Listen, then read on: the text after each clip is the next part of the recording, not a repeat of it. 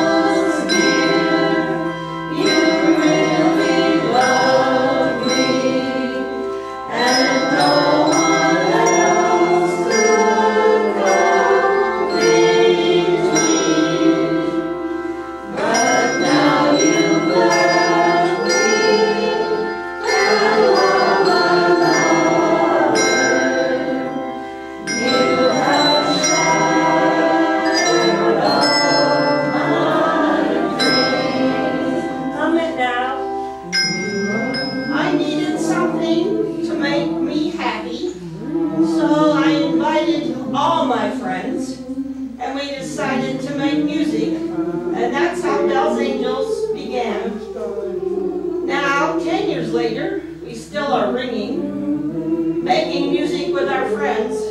So now let's all have a party. Glad you all could attend.